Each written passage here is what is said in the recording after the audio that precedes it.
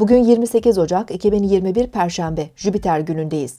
Güne Yengeç burcunda başlayan ay sabah 5.53'e kadar boşlukta ilerleyecek. Dolunay'a doğru büyüyen ay saat 5.35'te Aslan burcuna geçecek. Önümüzdeki iki gün daha canlı, özgüvenli ve yaratıcı enerjiler altında olabiliriz. Öğle saatlerinde Ay, Kova burcundaki Satürn'e karşıt, Boğa burcundaki Uranüs'te de kare açı yapacak.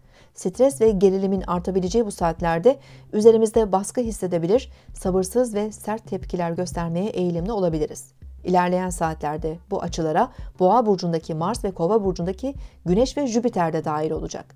Olayları olduğundan daha kişisel algılamaya eğilimli olabileceğimizden vereceğimiz tepkiler de aşırı ve duygusal olabilir. Kalıcı zararlara yol açmamak için kendimizi kontrol etmeye çalışmalı, geri alamayacağımız eylemlerde bulunmamalıyız. Her olayı kontrol edemeyeceğimizi fark edebiliriz ve bazı şeyleri oluruna bırakmamız gerekebilir.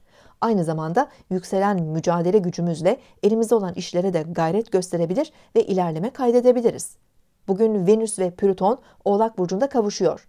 İlişkiler, ortaklıklar ve evlilik konularında bazı dönüşümler yaşanabilir. Bu konular odak noktamızda daha fazla olabilir. İlişkilerde daha sahiplenici ve tutkulu hissedebiliriz. Zaman zaman manipülasyon tehlikesiyle de karşılaşabiliriz. Güç ve otorite alanları da daha talepkar davranabilir. Akşam 21.30'da Aslan Burcu'ndaki Ay ile Kova Burcu'ndaki Güneş karşıt açı yapacak ve 8 derece Aslan Burcu'nda Dolunay meydana. Siz de şimdi kanalımıza abone olun, yorumlar bölümüne sorularınızı yazın, sürprizlerimizden haberdar olun.